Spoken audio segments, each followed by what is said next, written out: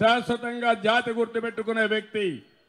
ఇంకొక పక్క ఆయన రాజకీయాల్లో ఏదో అధికారం కోసం రాలేదు.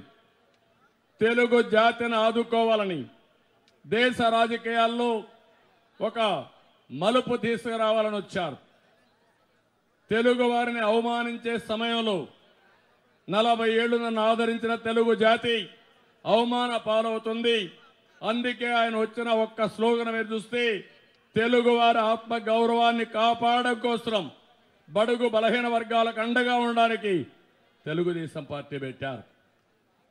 తొమ్మిది నెలల్లో చరిత్ర. ఏ నాయకుడికి ప్రపంచంలో సాధ్యం కాల ఇది ఒక రికార్డ్. అదే కాదు పరిపాలన ఎట్టుండాలనో బాధ్యత కలిగిన రాజకీయ నాయకులు ఏ విధంగా ప్రవర్తించాలనో చెప్పిన వ్యక్తి ఎన్టీఆర్. వారు సినిమాల్లో క్రమశిక్షణ చెప్పాడు. నేను రాజకీయాల్లో క్రమశిక్షణ చూశాను.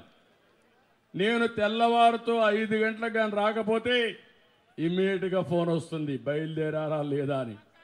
ఆయన దగ్గర మళ్ళా ఫోన్ చేయించుకోవడం ఇష్టం లేక కరెక్ట్గా నాలుగు యాభై ఐదుకి పోయి కూర్చునేవాడిని అది ఆయన దగ్గర నేను నేర్చుకున్న క్రమశిక్షణ అని చెప్పి కూడా నేను మీకు తెలియజేస్తున్నా. భయం అనేది తెలియని వ్యక్తి.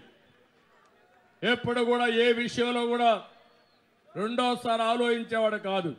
న్యాయం అనుకున్న పని చేసి తీరేవాడు. చాలామంది చెప్పేవాళ్ళు ఇది అసాధ్యం అంటే అసాధ్యం అయితేనే చేయాలి. అసాధ్యం అని నువ్వు చెప్తే నేనంటే నేను ఎన్టీఆర్ ఎందుకు? కాబట్టి నా స్టైలే వేరని చెప్పి నిరూపించిన వ్యక్తి నందమూరి తారక రామారావు గారు. ఒక రెండు రూపాయల కేజీ బియ్యం ఇచ్చినప్పుడు అందరూ విమర్శించారు. ఎక్కడా భయపడలేదు. ఒక ఆడబిడ్డలకు ఆస్తి హక్కు ఇచ్చినప్పుడు చాలామంది ఇది కాదన్నారు. అయినా కూడా ఏ విషయంలో కూడా చూస్తే భయపడకుండా ఒక చరిత్ర సృష్టించాడు.